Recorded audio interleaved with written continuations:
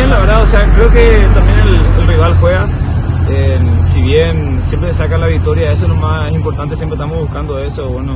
trataremos de corregir también esos detalles, pero bueno, mientras el equipo esté ganando, nosotros vamos a seguir ahí por ese camino, así que bueno, nada, nada más hay que seguir trabajando y ya. Sí, la verdad que sí, va, va, va a depender del profe, pero creo que todos estamos haciendo la decisión de, de Dubán, que creo que lo hacen, le hacen un, un estudio, pero el resto está, está bien, está, está con disposición de, de jugar y ya, ya sabrá el profe quién, quién, quién juega, ¿no? Sí, la verdad que sí, estamos, como bien lo han dicho los compañeros, con, con la armonía que eso yo creo que se nota y se reflejan dentro y fuera de- del campo, así que esperemos seguir así, la verdad, también como te dije, trabajando con, con humildad. Ahora se viene un partido muy complicado, así que estaremos